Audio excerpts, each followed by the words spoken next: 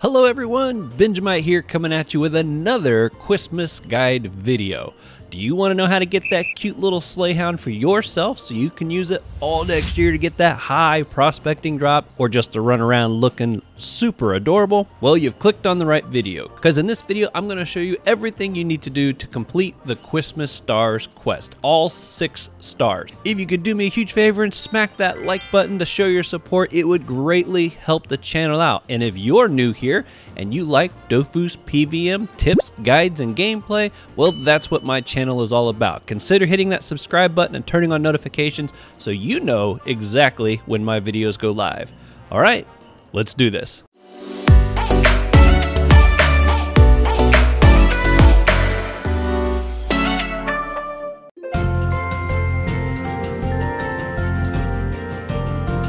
Alright, the first thing you have to do is pick up the quest. So as soon as you get here to Kwismas Island, you're going to talk to Leo, and you're going to find out more about the Kwismas stars. Assure him that you understood, and there you go. You now have the Kwismas stars quest. And basically what you got to do is each one of these markers represent a star that you have to get. Some are really fast and easy to do.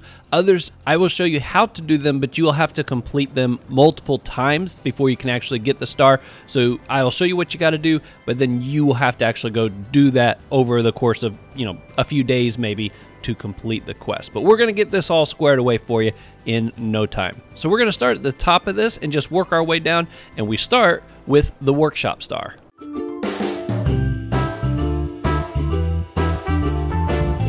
Right, to get the workshop star, the first thing you do is you come over here to negative 3286 where the gift shop is. And you're gonna go inside here. On the right hand side, you got Vlad the Blimplar. You're gonna talk to him, offer to help. And he's gonna send you to go out looking for iced chestnuts. And what you're gonna do is you're gonna find 30 iced chestnuts and bring those back to him. Now this is one of those quests that you gotta do multiple times. You gotta complete this quest seven times. So once you picked up that quest, you're gonna step outside. And if you use the Y button on your keyboard, see the presents that are lighting up here?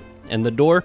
Uh, the Y button on your keyboard is going to light up anything on a map that is clickable, and that will be handy for other quests that we do as well. But what you're going to do is these red boxes, you go over and you click it, there's going to be a little bit of an animation while they try to unwrap the box, and you're going to see a chestnut with a 1 pop up right there, and that means that you found one.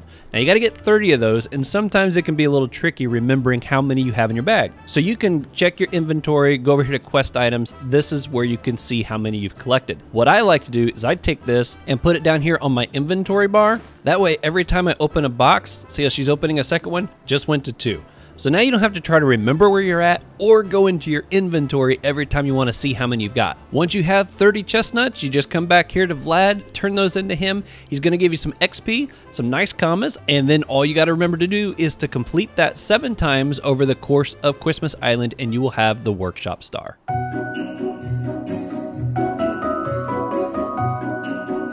Okay, next up we got the three King Star. That's hard to say five times real fast. This one's going to be a lot more involved. And one thing I should point out, especially since this one ultimately leads to a fight, all of these Kwismas Star quests that I'm going to show you do scale with the level of your character from 20 to 200 except for the last one, which is 25 to 150. So whatever you're at, you should be able to go through these and the challenge should be there accordingly. First thing you're gonna do is come here to negative 3188 and you're gonna talk to Cos Paul. After you talk to him, he's going to give you the Penguin Launcher Crate. A penguin launcher, that sounds fun. And you're gonna take this back to the Blimpalator inside the Kwismas Workshop. All right, inside here, the Blimp Palator is located here kind of on the south side. He's a little tricky to spot. You're going to talk to him and ask him to repair the launcher. He's now going to ask you to go collect 10 replacement parts. Now, these are going to be dropped by whatever goblins you are supposed to be fighting according to your level. You'll see right here that it is a loot drop, 100% chance drop, as long as you have the quest active. If your character is between the levels of 1 and 70, you need to go fight the goblins over here in the Haven area. Between 71 and 131, you need to fight them over here, and if you're above that, you need to go fight them over there. The reason you gotta fight them in your area is because that's the only way they'll drop. If you are level 200 and you go fight them in the low level area, you won't be dropping any of them. All right, so when you fight the goblins in your area, this is what it's gonna look like, the replacement part right here. It doesn't matter if you get the challenge, it doesn't matter how big the group is or your level cap or anything like that. Every one of them that's in the group will drop you a part. This might take you a little while depending on how hard it is to find them. How many people are on this quest may make a difference too because there could be lots of people running around here trying to fight these goblins. So plan a little bit of time for accomplishing this step of this star. If you get burned out, move on to one of the other stars and come back to this when you're ready to do some more fighting.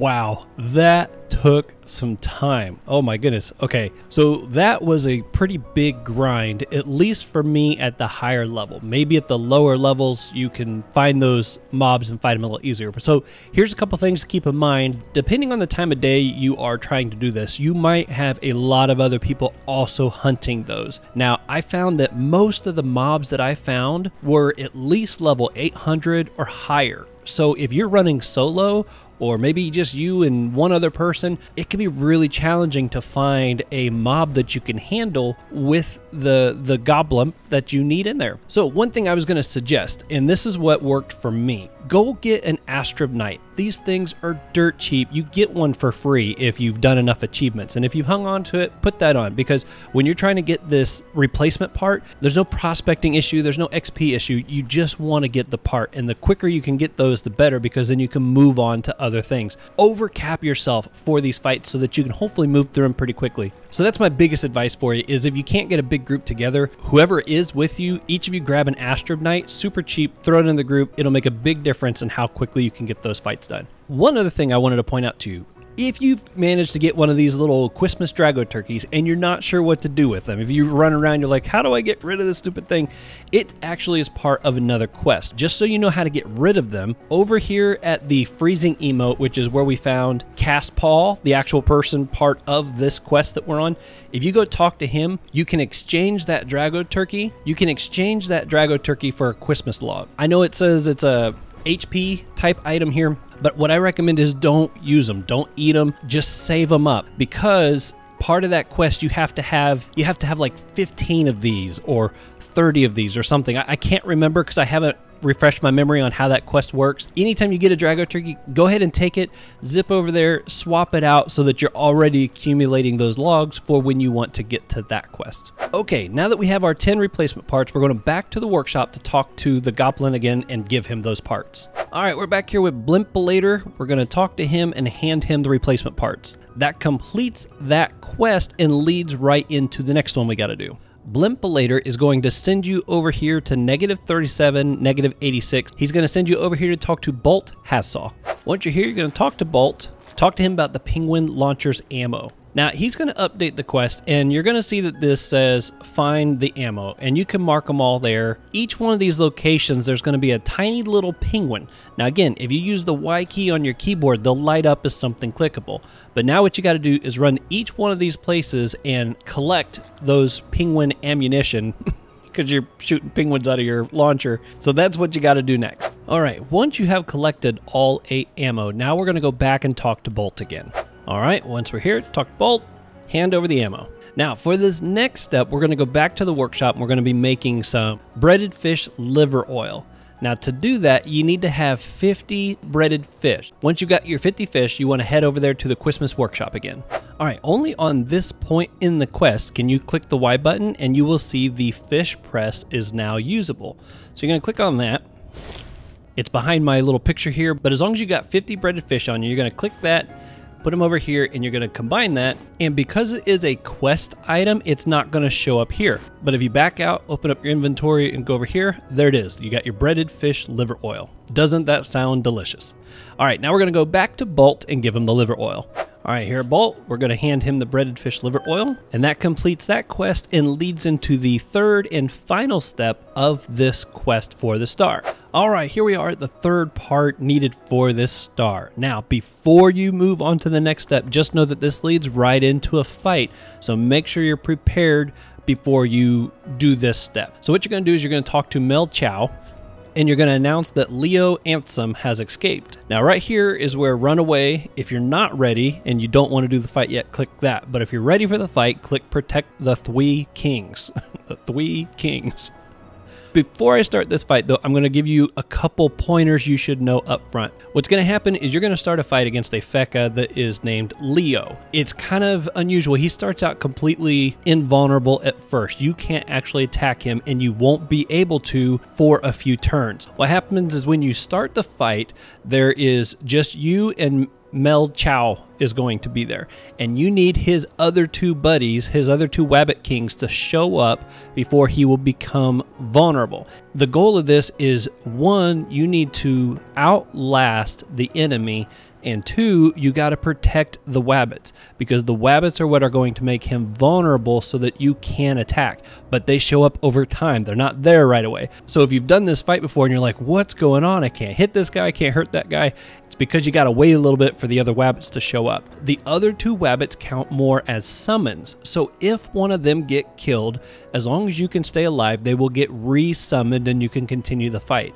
If the main wabbit dies though, that ruins the fight and you or you lose the fight. So if you're on the shadow server, make sure you know what you're doing here before you go in there to try to do that. Uh, you might die not because you ran out of life, but because your wabbit died. Once all the wabbits have arrived, the third one has a spell that it can cast on L.O. to make him vulnerable, and then it's a matter of just trying to blitz him. The third wabbit needs to cast that every turn because he'll become invulnerable again after every turn. So you got to try to hold him, but yet let the wabbits get kind of close to him so that they can cast that on him, but yet still keep them away so that they're safe. It might take you a couple tries to figure it out, but you can heal the wabbits and things like that. So if their life is getting low and you got the capabilities of healing, use that. Also, blocking line of sight is a fantastic way. Now, you don't control the wabbits, so they'll run around all over the place, but if you got ways of trying to block line of sight, from L.O. to them, that's a way of keeping them alive as well. All right, so let's do this and I will show you what the fight looks like. All right, so here's L.O. and he has very long ranged attack. It, it doesn't really matter that he's all the way down there and we're up here. Uh, he can still get to us. So we're just gonna start this. There you can see he is, he's made himself invulnerable and he will usually prioritize attacking you over the Wabbit. But what typically happens is he will attack you, then he will try to attack this Wabbit specifically. So we're going to use this just to transfer some life to him to try to heal him back up. And now it's a, it's all about trying to outlast him and block him, corner him, anything you can think of. Summons that you got are very useful here. I have found that actually summoning classes tend to do much better here because you can really corner him. So that's going to be the goal here. All right, he's there's that first turn there. Now the Wabbits do do things to try to help you. One thing that they do is they cast a, a resistance buff on you to try to make you strong against his element. Okay, I'm gonna scoot up. I really wanted to put the, the skeleton here in front. All right, we're gonna bring this to this side here. He's probably gonna go around it. Okay, all the attacks were on the sword. That's perfect. All right, we're going to come over here. We're going to cast the skeleton here to hopefully, again, we're trying to just keep him cornered. When he does summon the next Wabbit, you're going to see that I get healed from that as well. I believe it heals all the allies on the map. Okay, so that's three turns. This next turn, I believe, is when the first Wabbit will typically arrive. It's not, it's not an always thing. So let's do this. All right, he gave me some MP. Here we go, Wabbit number two. See, I got some health back. All right, see, he's a summon there. Okay, the sword died. Luckily, I've got my next one ready here. So I'm gonna put that out there. In fact, I could be doing this so I can try to work up a shield to put on every once in a while. The Wabbits are doing good. Again, it's it's mainly all about trying to outlast him. Anything you can do to just hold him there. Hold him there. That's what you want to do. Okay. Pass again. If you got him set up in a situation like this, just keep passing. That just speeds the fight along and it doesn't really do you any there's no benefit into trying to figure out what else to do unless you got like some buffs and stuff that you you have that could be useful. Okay, now I'm going to go ahead and put the shield on because I think we're getting close to the third Wabbit getting here. Go ahead and buff up what I can. Sword right there. Is your buddy showing up yet? There he is. And see, I got some health back again. Now we got to try to make it to where this wabbit has line of sight on him. This is where it can get a little tricky. So what I'm going to do is swap here, swap here, and I'm going to go to the other side. I don't know why it ran around. I'm going to go on the other side of him here so that hopefully he has line of sight now to be able to cast. We'll just put this right here because maybe he'll attack that instead of the wabbit. One, two. Oh, didn't do it yet. Yeah, he doesn't cast it right away. I think usually it's one or two turns after that that he will cast it. It's like, come on, just make him vulnerable already. Okay, we're gonna do this. All right. I think I think we'll be in business after this turn.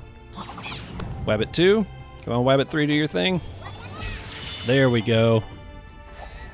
All right, now he's attackable. Oh my goodness, he does not like the fact that that Wabbit's there. This. Again, now it's just about killing him as fast as you can. All right, Skeletor even got a hit in there. All right. Sweet, they did it again. Ooh, he's chasing the Wabbit down. See, he goes after the main Wabbit. He will. He doesn't usually go after these. All right, let's pull you back. Swap. Go try and keep you over here. All right, hopefully, I think, I don't think they have to be straight in a line. I think they can do it from an angle also. So hopefully, uh, they'll still make him vulnerable from an angle. Oh yeah, there we go, cool. So it doesn't have to be a linear attack for that to work. See, he's going all out after that Wabbit now, trying to finish him off. But I think I think we've sealed the deal here. Oh yeah, he's done for. Okay, there's the fight. So that's kind of what you have to expect. Remember, he's going to be completely invulnerable. You gotta try to keep that main Wabbit alive. Give him health if you can. Throw summons around L.O. to try to block him if you can. Then once he becomes vulnerable, once the third Wabbit arrives, usually one or two turns afterwards is when they'll start casting it. Then you just want to blitz him as quickly as you can.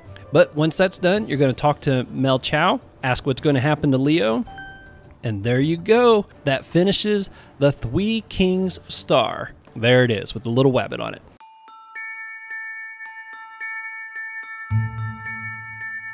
All right, the next star on our list is the Itzting star. And believe it or not, all you got to do is come here to negative 32, negative 89, and run the Kwismas dungeon. It's the low level one, fairly easy, unless you also are low level. It might be a little more challenging, but all you got to do is beat it. Doesn't matter if you get any challenges or nothing, just beat the dungeon, you get that star. All right, just beat Itzting right here. Quest updated the Itzting star, and the only thing you got to do is talk to Hector Kwismas right here take the star, and leave. And there you go.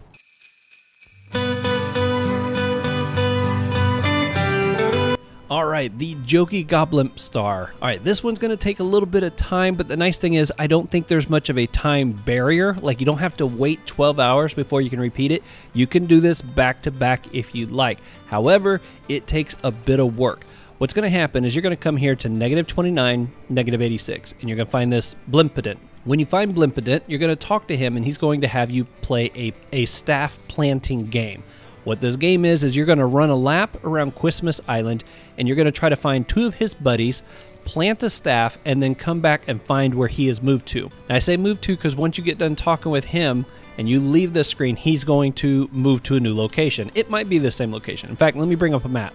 Here's a map kind of showing you the locations of where these guys are typically found. First one you have to go to is the one down here on the south, the red squares. Then you want to come up here and find wherever he is up here. Then you're going to come back here. Now, right here is where we are located at the moment. So when you make your circle, he might be still here on this map, but he could be in any of these locations. So what you got to do is you got to find his two buddies, then come back and find him. All three places you're going to plant a staff, and you have to do it in less than seven minutes. If you don't do it in less than seven minutes, you won't get the point. Also, you have to do them in that order. You got to go to the south first, then the north, then back over here. If you go in the opposite direction, you will find the goblins, but it will not let you plant the staff. They'll just say something silly to you. One other thing I'll point out is while you're running around, you might spot some little NPC ghost type characters. If you see them, click on them and talk to them real quickly, and they're going to give you blue oranges. Those blue oranges, when you bring them back to the final guy here, he will exchange those for extra Kwismas gifts as a reward for you. So if you spot them, you might talk to them, pick them up. If you don't, it's not a big deal. That doesn't move this along. Now, I mentioned a moment ago you have to get 20 points. You can play this game 20 times to get those. If you are sick and tired of this game, I would not blame you by the time you get to that point. Later, when I show you the steps for the Grumpy Star, you have to go fight some enemies. And when you fight those enemies, they have a chance to drop a point as well. Now, it's not a guaranteed point, but it is another option for you. Also, you have to have done this one at least once before the points have the possibility of dropping from those other enemies. So you got to play this game at least once so that then you can maybe get the points to drop when you go fight those other enemies. All right, so now if you check your inventory, you will see the beside the point, and I have one. You need 20 of those to get past this step. Once you have 20, you're going to come back here, talk to Blimpudent again, and he will give you that star.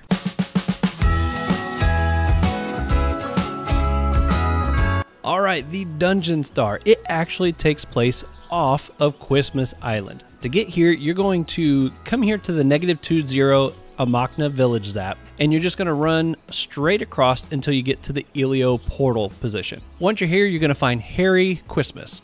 Talk to him. You're going to ask what the matter is. Offer to help and he's going to send you on a quest to go get your dungeon star. All right, and he's going to give you the quest Kwismas Preparations. What he's going to do is assign you a dungeon based upon your level. If you're between the levels of 20 and 80, he's going to send you to the Scarleaf dungeon. 81 and 140, he's going to send you to Dragon Pig. And if you're above 140, he's going to send you to the Soft Oak clearing. And basically, what you're going to do is you're going to go beat that dungeon, and when you beat the boss, you're going to get a small package of gifts. You're going to bring that back to Harry Kwismas and exchange it with him, and he's going to give you some XP, I think some kamas, and maybe even some Kwismas gifts there. One of the nice things about this, though, is you can actually increase your rewards. If you go and defeat the dungeon just completely as normal, you're going to get a small Kwismas box gift.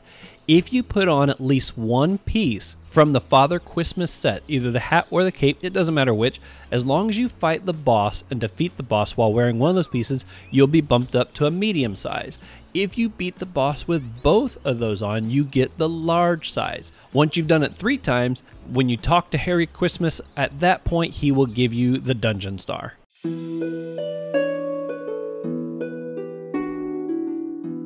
All right, now it's time for that final star, the Grumpy Star. Now, this one can be a bit of a project, and there is a bit of questing you got to do to get there. But don't worry, I'm to break it all down for you, and I'm to break it down depending on the level and who it is you have to go after. To start this quest, you're to talk to Scooger right here outside of the Kwismas workshop, and you're going to ask to teach a grump a lesson. You got four different ones here. Ultimately, what you're going to do is whoever it is that is in your level requirement, you need to defeat them seven times because you're going to drop a bag of loot that you bring back to Scooger. That's how you get the stars. You bring him seven bags of loot.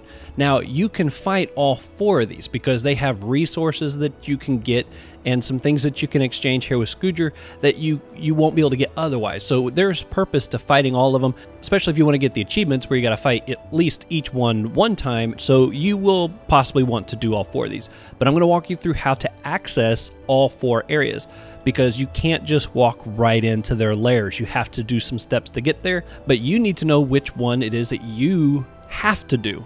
The the others are voluntary, but there's one that you have to do if you want to get the star.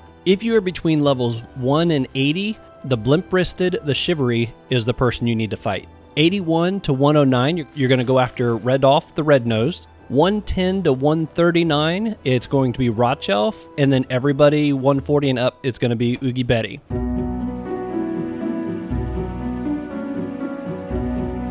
So we're going to start at the bottom level and work our way up. So the first one is Blimpristed. So you select Blimpristed, go and confront him. All right, once you have selected him, you're to come over here to negative 28, negative 88, and that's where his entrance is. Once you come here, again, if you click on the door, it's not to let you in. It says that you haven't completed the item yet.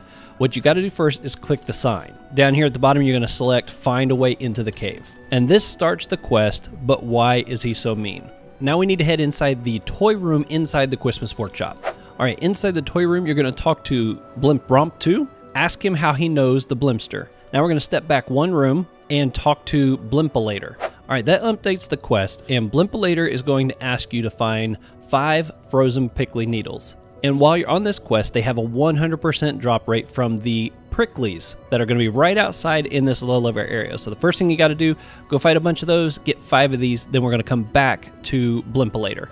All right, now that we got our five needles, we're going to talk to Blimpalator and hand over the frozen needles. Now that completes this quest, but you're going to offer to help to find the notebook, which is now going to start the quest Zam to the Slaughter. Now from here, we are actually going to leave Kwismas Island, and we're going to go down here to the Rogue Secret Passage just on the south side of Astrub. All right, once you're at the church, you're going to talk to the Astrubian mercenary, find out why it's off limits, and you're going to pay him 50 kamas to get in. Once you're in here, you're going to come over here to Bapapa, and you're going to mention Zam's name. Offer 10 kamas, but ultimately you have to offer 101 kamas. Ain't cheap. Okay, after you've talked to him, you're going to have to come down here to 2 negative 1, the Amakna Inn, to progress the quest. Once you're here, you're going to go inside this main building. You're going to take the door over here on the right. Go up these stairs on the far right. And once you're here, here is Zambono. Now, talking to Zambono will lead into a fight, just so you know. You're going to demand that he returns the stolen notebook. And here you go. Level 125, 270 health, not too big of a fight. Once the fight is over, you're going to get the notebook, which you're going to take back to Blimpinator inside the Kwismas workshop. All right, once you're here, go and talk to Blimpinator, hand over the notebook. That completes Zam to the Slaughter. Now we enter into the final quest to gain access, and he's going to tell you to talk to Vlad Blimplar, which is right behind him. Ask for a spanner, and you want to select a spanner of 12. He's going to ask if you want to change your mind. You say no, you want the spanner of 12. Now, it's pretty easy to figure out what you got to click on. If you use the Y button, you're going to click the little gear down here in the bottom right hand corner, and you're going to do three of these. So you can click that one there, go inside the toy workshop, click the machine here, and the machine here. Now we go back outside and talk to Blimpalator again. Tell him that you finished, and that finishes the key of success. Say thank you and leave. Now you have the adjustable hooklet, which is what you need to be able to get into Blimpristed's cave. So now we got to head back up there and click on the door. Once you're here, just click on the door, and there you go. You now have access to Blimpristed's cave. All right, and after you have beat Blimpster, you're going to come down here, talk to Scooger, and declare that you have finished your task. And there you go, you have now beat the Blimpster quest Smile Like You Meanie.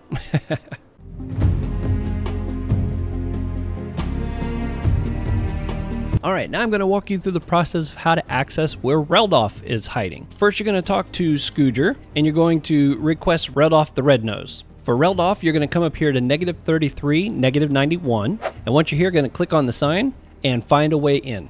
Now this starts the quest, all roads lead to Rum. Now one thing you need to know real quick is to do this quest line, you do need to have access to Moon Island. And I do have a two minute quick tip video on my channel that will walk you through the process super easy on how to get to Moon Island if you haven't been there before. I will try to remember to link it in the description below as well, maybe even in one of these corners have one of those little pop-out cards and you can click on that, do the process to get to Moon Island, and then come back here and pick up where you left off. The first thing you have to do for all roads lead to Rum, you got to go talk to Nicholas Kwismas inside the Kwismas workshop. All right, once you're in here, you're going to talk to Nicholas, and you're going to say to jostle Redolph a bit.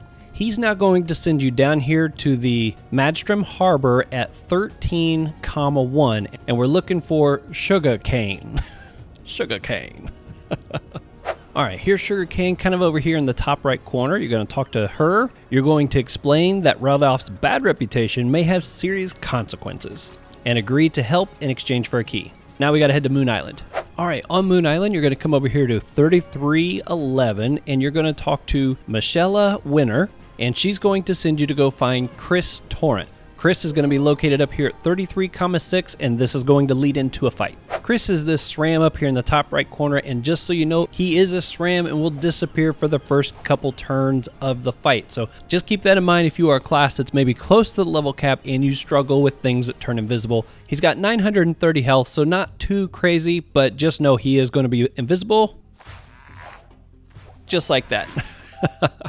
Once the fight is over, you're going to get this keg of old rum. We're going to take this back to Michelle the winner. Okay, once we're here, we're going to talk to the winner, show her the keg. Now that completes the All Roads Lead to Rum, and this leads into the quest Return of the Jetty. Once we're done talking to her, we're going to head back and talk to Sugarcane. Once you get here, you will see that Sugar is gone, but you're going to click on this little crate right here, and that's going to give you a letter. From there, we're going to come up to 11 negative stick and talk to Spike Ezzy. All right, here's Spike Ezzy. Going to talk to him and take revenge. This leads into a fight with a level 80, 990 HP. Again, not too bad. Once you've defeated Izzy, you're going to get this letter from Sugarcane, and we're going to take this back to Docker, who's located right there at the docks where you get off at Kwismas Island. All right, once we're back here, we're going to talk to Docker, show him the letter. And that concludes Return of the Jetty quest. You're going to go off and chase some snowballs, and this leads into the final quest to gain access to Redolph's area. What shall we do with a drunken sailor? Any Dwight fans from The Office? All right, what you have to go do now is find three frozen snowball stones, which are dropped at a 50% drop rate, that's their base drop rate, from the snowballs located in the Christmas land area. Once you have three of those, we're going to bring them back to Docker. All right, now that we got our three snowball stones, we're going to talk to Docker again, hand him the stones, hand over the keg, thank him, and leave. Now we're going to head back up to Redolph's stables, and we should be able to go inside now. All right, here we are back at negative 33, negative 91. Click on the door. And there you go. You now have access to Redolph. Now all you have to do is defeat him, go back and talk to Scooger again at the Christmas shop, and you've completed this quest.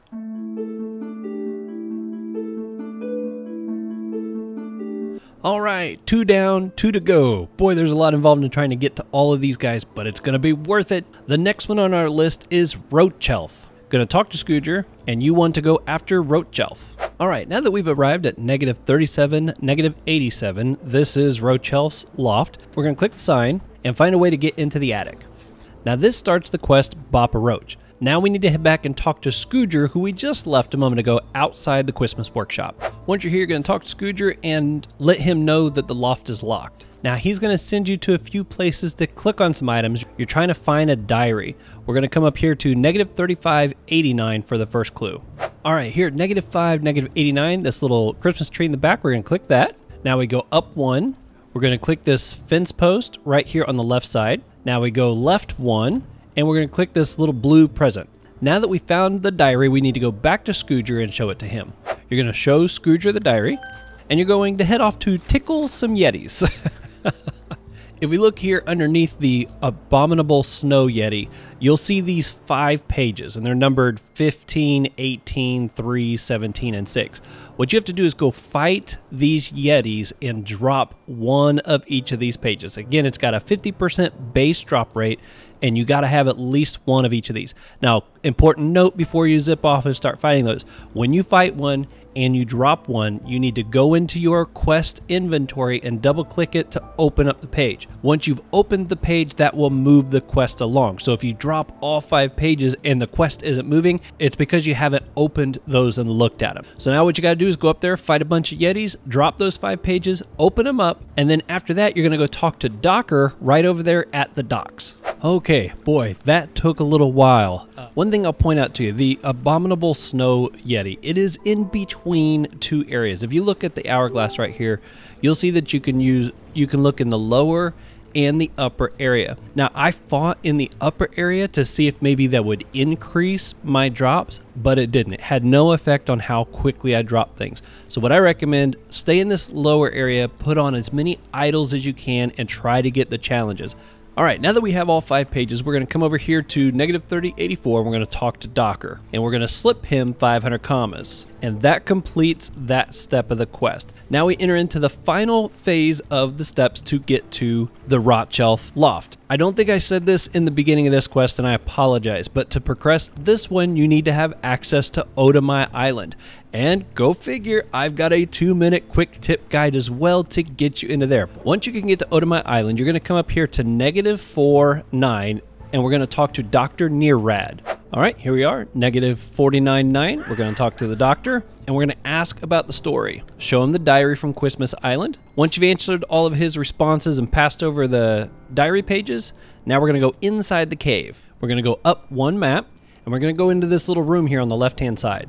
All right, using our Y button, this little crate right here, we're going to click that. And that's going to lead into a fight which I totally forgot It just started it with all four characters. all right, once you beat him, not too difficult. He's got a decent amount of health, but other than doing some pushback and running and hiding, he's not too difficult. You now have the key. Now we're going to go back to Roachelf's loft and go inside. All right, here we go. Negative 3787. Go inside. And there we go. You can now fight Roachelf, and then after you beat him, like the others, go back and talk to Scooger, and you will complete this quest. All right, just a couple pointers real quick on fighting this guy. Just beat him with all four characters. Basically, what you have to do is you have to kind of rotate through your elements. Each time you hit him with your spell, whatever element that is, he's going to begin to build resistance to that. So you have to use other elements to begin to lower the one that you want to hit in and raise the ones that you don't want to be hitting in. So what I recommend doing is whatever your main element is, hit him first with a couple low AP attacks that are off element and then hit him real big with your main element at the end. I feel like that's the best way to get the most damage out of that.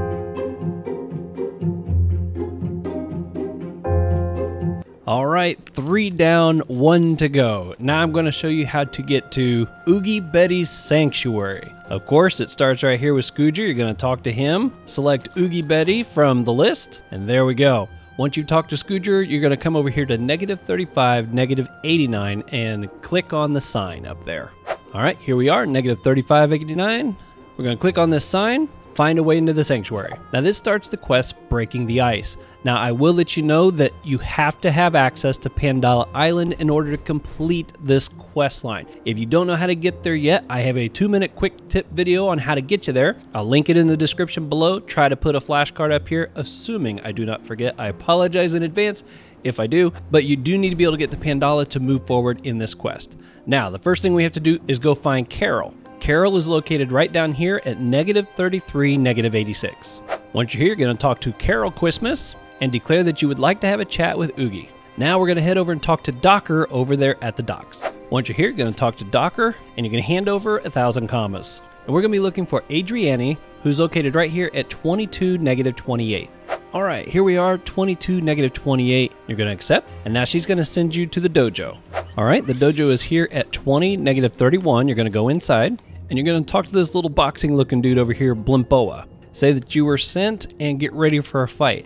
Now, I don't know if you guys are familiar with the old game Street Fighter, but if you remember Ken and Ryu, this guy fights, attacks, and even makes sounds very similar to those characters from Street Fighter, which is really cool if you haven't seen it before.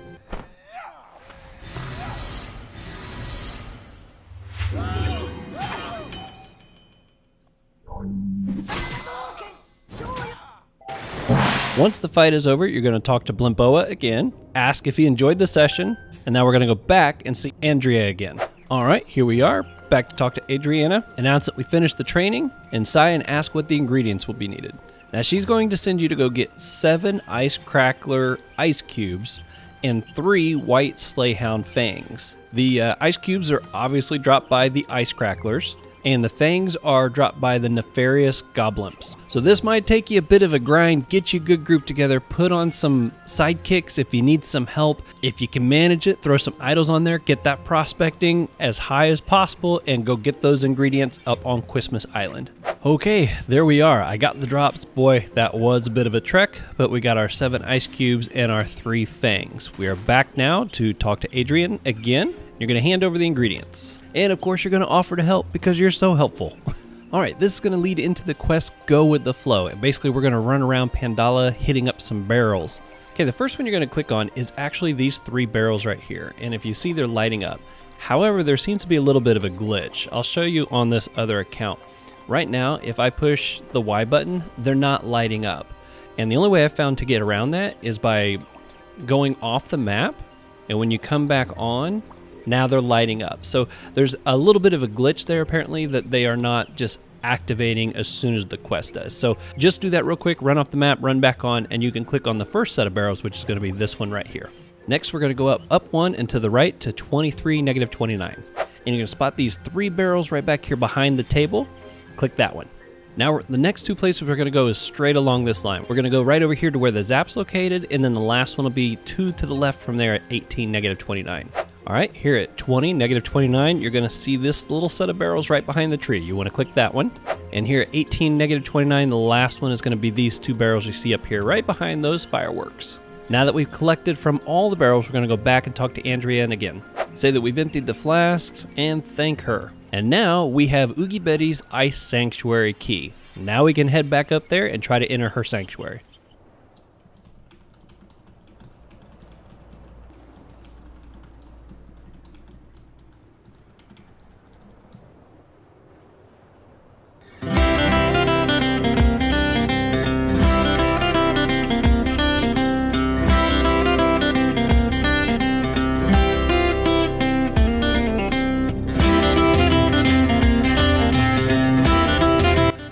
Now that we are here, back at Oogie Betty, we're gonna click on the door, and there we go. Oh my goodness, there she is. Oogie Betty. oh man, that looks like the roach elf from the previous room. All right, well, I'm gonna fight this character real quick, see if I could come up with any tips for you after the fight. All right, I just beat him with all four characters on the first try, and I can say that it's not that difficult just keep trying to chip away at Oogie. Uh, I will let you know that any summons that you throw out there, if it's not something that is done right after the turn you use it, for example, on the Sadida, the sacrificial doll, as soon as I throw it out there, if it runs up and blows up, it's okay. Anything that stays on the map, though, Oogie will immediately turn it into like this little beetle guy. It doesn't really have any health or anything. You can destroy it super easy, but any summons you throw out there are almost pointless. So just be aware of that. Other than that, pretty straightforward. All right, so now we're gonna go back down and talk to Scooger to turn in this quest. All right, so here's Scooger, gonna talk to him, declare the task is finished. There we go. We've now finished all four of the Christmas layers. Now you gotta do is make sure you get that loot bag seven times and you'll get that grumpy star. All right, I know that was a lot. There was a bunch of steps and there was a great deal of effort that went into making this video. If you wouldn't mind and do me a huge favor, if you haven't already and smack that like button, it would really help the channel out and I would totally appreciate it. Also, if you like Dofus PVM tips, guides, and gameplay, well, that's what my channel is all about. Consider hitting that subscribe button and turning on notifications so you know exactly when my videos go live. All right, you guys all have a Merry Christmas, and until next time, you all be safe out there, and I will see you on the next one.